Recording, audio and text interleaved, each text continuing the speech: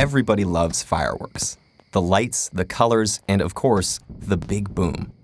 But the history of fireworks isn't all hugs and celebrations. Long before epic fireworks displays, chemists in China invented the key ingredient that propels those bright lights into the sky. That invention was what we now call gunpowder.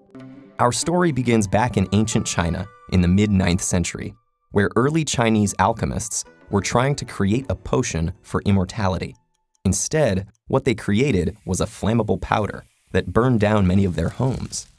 They quickly realized that this black powder, which they called fire medicine, was precisely the opposite of something that would make you live forever. In these early days, the Chinese hadn't yet figured out how to make the powder explode.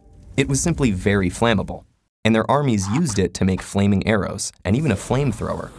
But once they figured out the right proportions of ingredients to create a blast, they began using the powder even more, creating fireworks to keep evil spirits away and bombs to defend themselves against Mongol invaders.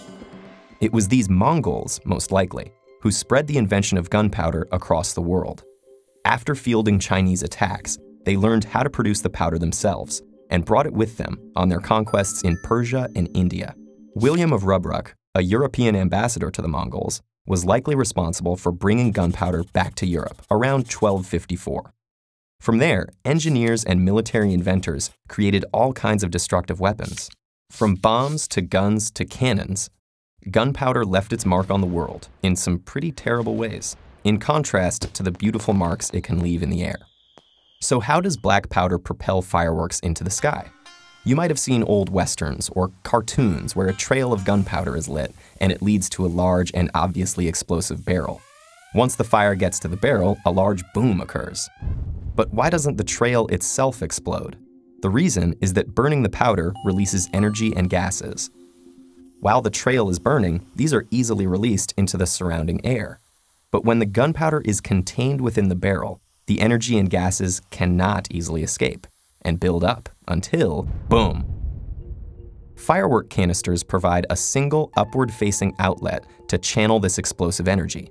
The wick ignites the gunpowder, and the energy takes the easiest exit from the canister, launching the firework high into the sky. The flame then makes its way through the fireworks encasing, and the same reaction occurs high above our heads. So while the Chinese alchemists never found the compound for eternal life, they did find something that would go on to shape all of civilization, something that has caused many tragic moments in human history, and yet still gives us hope when we look up in celebration at the colorful night sky.